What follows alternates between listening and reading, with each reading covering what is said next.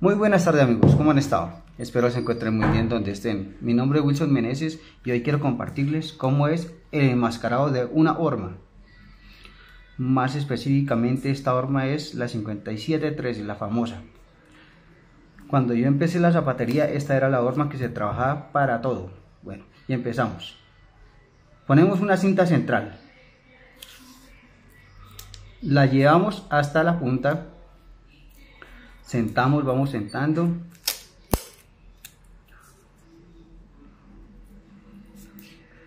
Que quede bien pegadita. Ahí tenemos. Ahora, cintas. Medio centímetro de acá para arriba. Sentamos la cinta.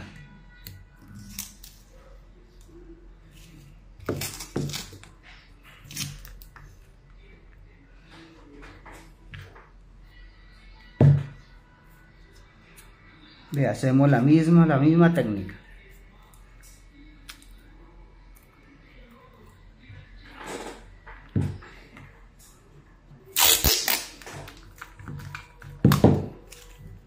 Ahora esta, lo mismo, el medio centímetro.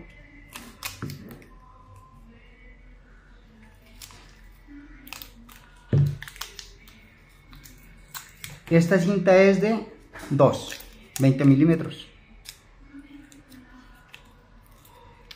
La sentamos.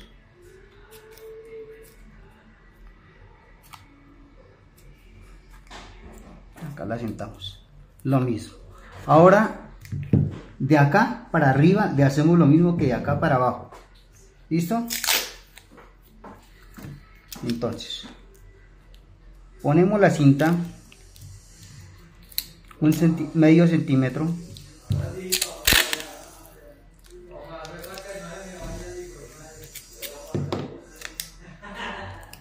listo acá. Y esta la voy a enmascarar la mitad. Bueno amigos espero sus comentarios. Suscríbanse activen la campanita. Déjenme saber de dónde son. Y ahí estamos hablando.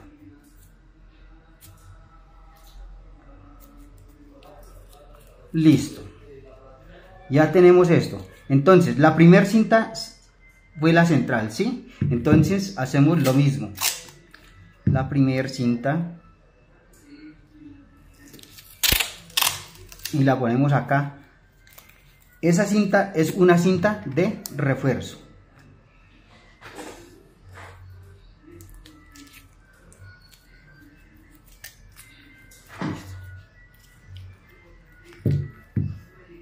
Ahora, acá una cinta.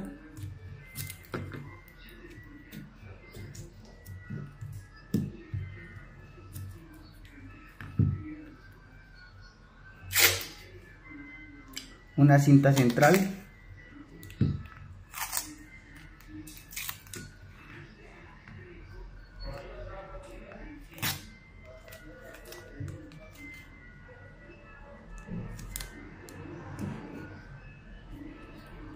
Así le puede usted hacer la línea mucho más fácil.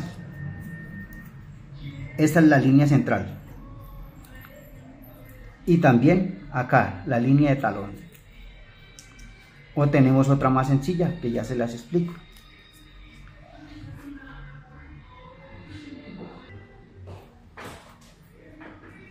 Acá toca quitarle la cinta sobrante. Cinta sobrante. Entonces, ¿qué hacemos? Acá la podemos sacar así de una. Pero si no tenemos experticia, entonces con un lápiz la marcamos. Acá.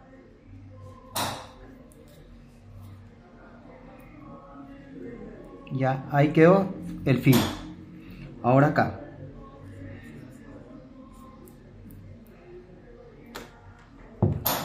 Ahora la hacemos.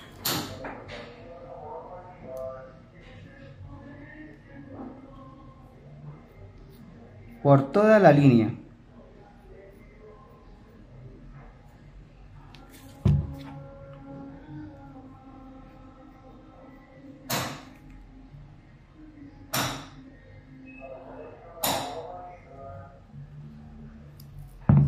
y acá, lo mismo.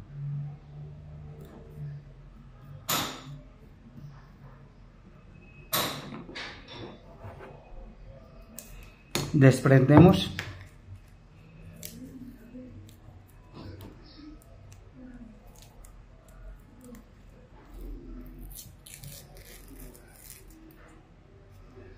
Listo. Ahora acá también. Desprendemos todo el sobrante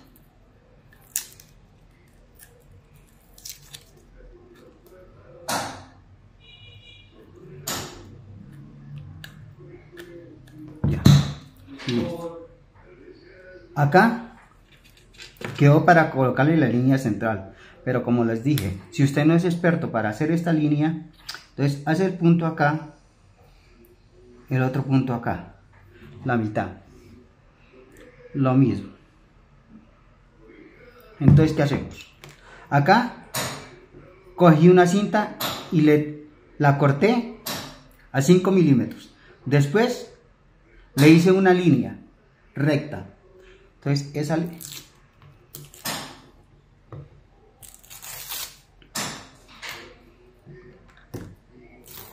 Y aquí está. No se puede con la cinta entera. Os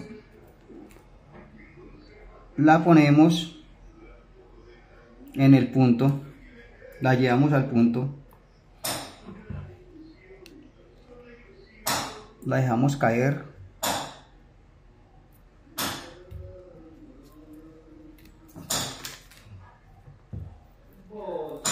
Ahí quedó nuestra línea central.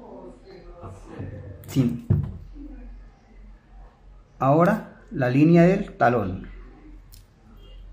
Ahí quedó la línea del talón. La sentamos.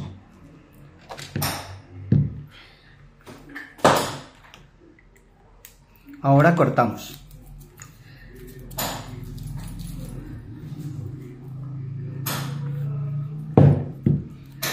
Por toda la línea.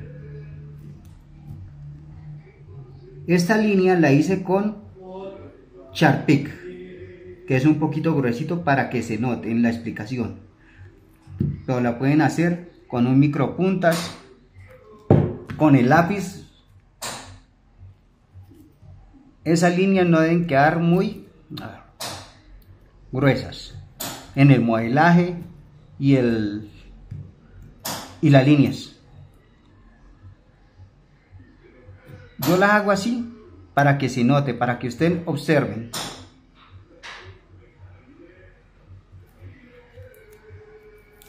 Listo.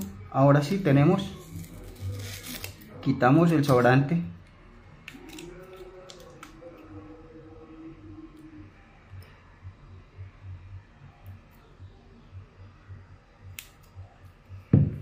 No corto acá.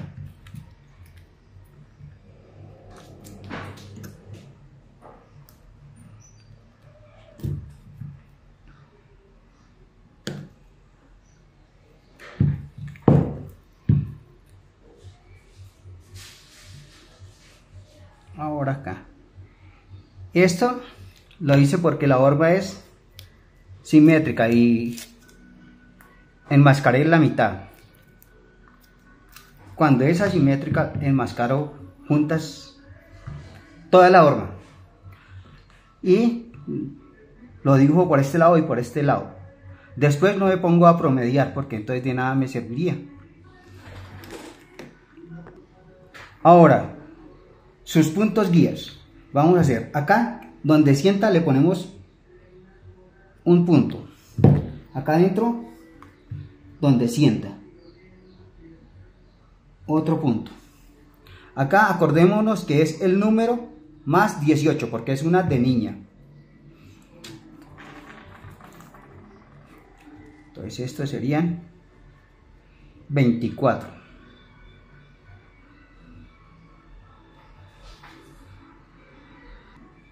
Acá serían 42. A partir de la línea de plantilla. De aquí, acá 42 milímetros. Ponemos el punto. Lo tenemos. Ahora, de este punto y este punto, cogemos así. y lo marcamos.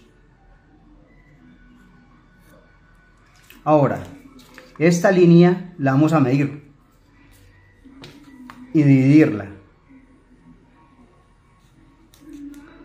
Tiene 50, entonces sería 25. Acá ya tiene su línea metatarsiana, esta se llama la línea metatarsiana, la línea de profundidad. Este y esta, entonces cogemos el metro así,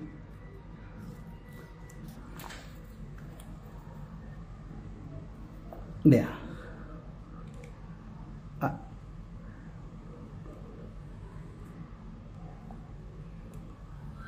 ahí tenemos, entonces la dibujamos.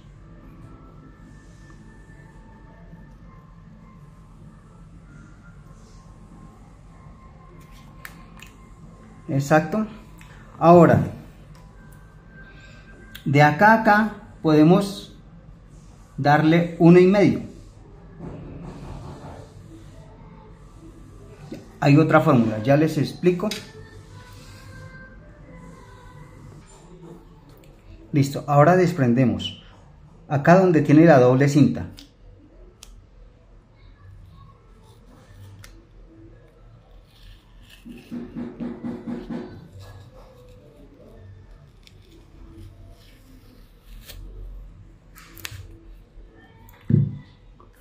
Está la máscara la ponemos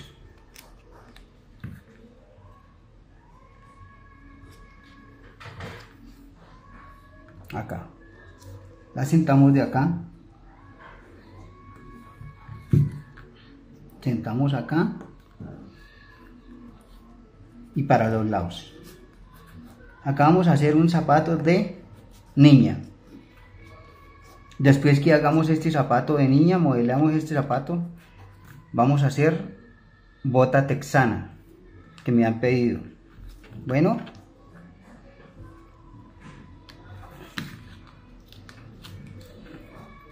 hay veces cuando la horma lleva harta curva, entonces toca hacerle piques, piques. Acá no hubo necesidad.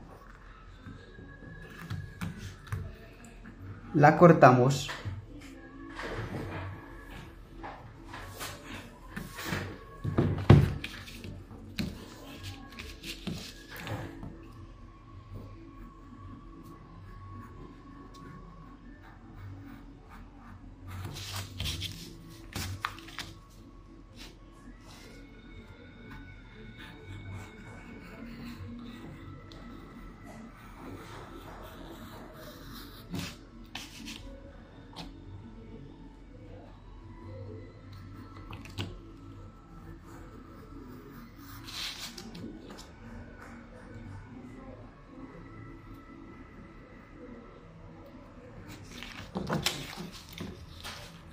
ahí tenemos.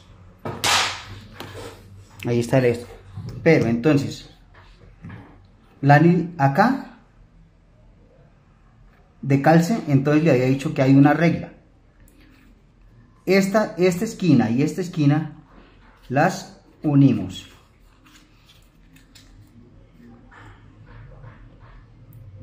Y ahí se sabe la mitad. Marcamos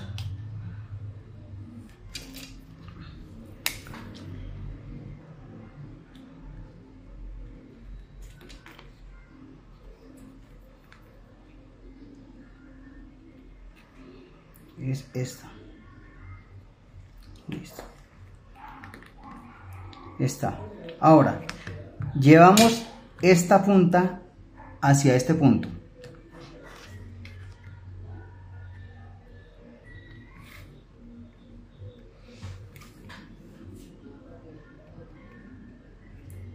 Ahora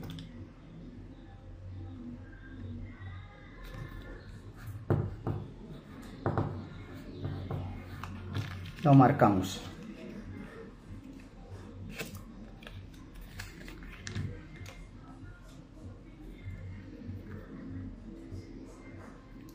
Ahí quedó. Esta es la línea. Este es el punto.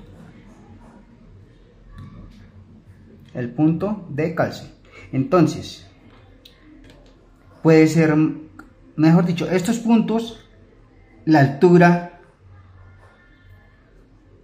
donde se empieza a modelar puede ser cinco rayas hacia atrás, también hacia adelante. Eso no es una camisa de fuerza, lo que le digo, que ese punto tiene que quedar ahí siempre. No, lo pueden hacer más acá, más allá, como quieran. En el diseño no hay escrito nada. Bueno, eso es. Ahora vamos a dibujar el zapatico. Bueno amigos, espero les haya gustado esta clase y hasta la próxima. Suscríbanse y que la pasen muy bien. Chao, chao.